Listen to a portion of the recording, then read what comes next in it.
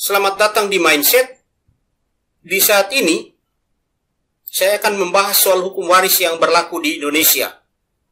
Tentunya ketika bicara soal hukum yang berlaku di Indonesia, lebih khusus hukum perdata atau hukum waris, maka kita memiliki pluralitas hukum. Ada tiga hukum yang berlaku di Indonesia. Ada hukum adat, hukum Islam, dan juga hukum perdata. Pada kesempatan ini saya akan membahas hukum waris dari sudut pandang hukum perdata. Nah, biasanya mahasiswa hukum atau sarjana hukum tahu bahwa bicara soal hukum perdata, dasar hukumnya adalah kitab undang-undang hukum perdata atau dalam bahasa Belanda disebut dengan Burgerlijk Wetboek. Biasanya disingkat dengan BW. BW itu ada empat buku. Buku pertama tentang orang, buku kedua tentang benda, buku ketiga tentang perikatan, dan buku keempat tentang pembuktian dan daluarsa. Nah, kalau kita bicara soal hukum waris, menurut sudut pandang hukum perdata, maka fokus utama kita hanya ada pada buku pertama dan buku kedua. Fokus utama ada di situ. Menurut Wirjono Projodikoro, Wirjono Projodikoro ini menggunakan istilah warisan untuk hukum waris. Nah, warisan adalah soal apakah dan bagaimanakah pelbagai hak dan kewajiban tentang kekayaan seseorang pada waktu ia meninggal dunia akan beralih kepada orang yang masih hidup. Jadi ketika menggunakan pengertian yang dipakai oleh Wirjono Projodikoro, setidaknya ada tiga unsur penting ketika bicara soal hukum waris. Pertama, ketika bicara soal hukum waris, bicara soal pewaris. Siapa pewaris itu? Pewaris adalah orang yang memiliki harta kekayaan. Lalu ketika bicara soal hukum waris, unsur kedua adalah bicara soal ahli waris. Ahli waris adalah orang yang berhak atas harta kekayaan dari pewaris. Dan ketika bicara soal hukum waris, unsur ketiga adalah bicara soal harta kekayaan.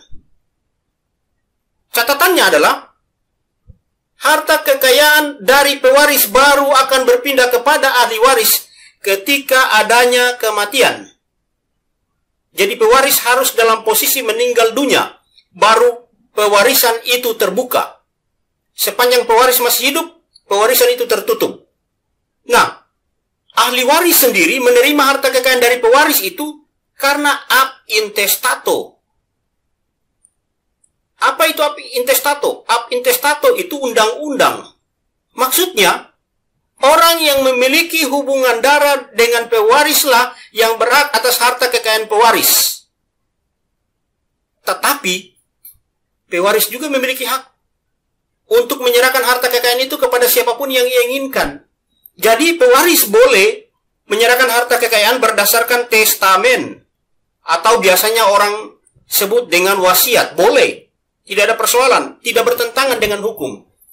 Hanya yang harus diingat adalah ketika pewaris menyerahkan harta kekayaannya kepada orang yang dia inginkan berdasarkan testamen, berdasarkan wasiat, harusnya tidak boleh mengurangi atau mengganggu hak mutlak yang dimiliki oleh ahli waris. Nah, pertanyaannya sekarang adalah siapa ahli waris?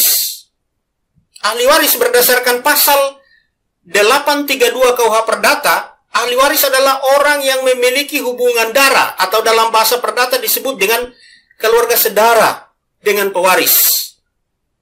Sebelum tahun 1936, suami atau istri bukan merupakan ahli waris nanti setelah Pak setelah 1 Januari 1936 suami atau istri dimasukkan menjadi salah satu ahli waris dari harta kekayaan pewaris. Di dalam KUH Perdata, di dalam BW sendiri memberikan empat pengelompokan ahli waris. Jadi ada golongan pertama. Golongan pertama itu anak-anak cucu dari pewaris, suami atau istri. Lalu ada golongan kedua. Golongan kedua orang tua, saudara kandung pewaris. Golongan ketiga, kakek nenek pewaris. Dan golongan keempat ini nanti kita akan lihat sampai garis menyamping hingga derajat keenam. Di sini yang harus diingat adalah ketika ada golongan pertama, maka golongan kedua, golongan ketiga, golongan keempat tidak berhak atas kekayaan pewaris. Golongan kedua baru berhak kalau golongan pertama tidak ada. Jadi kalau golongan kedua ada, otomatis golongan pertama tidak ada. Berarti yang berhak golongan kedua. Golongan ketiga dan golongan keempat tidak berhak. Golongan pertama, golongan kedua tidak ada, yang berhak adalah golongan ketiga. Dari golongan ketiga ini, golongan ketiga dan keempat ini sudah berlaku pemecah atau cloving. Jadi itu yang bisa saya bagikan akan saya perinci pada video-video berikutnya.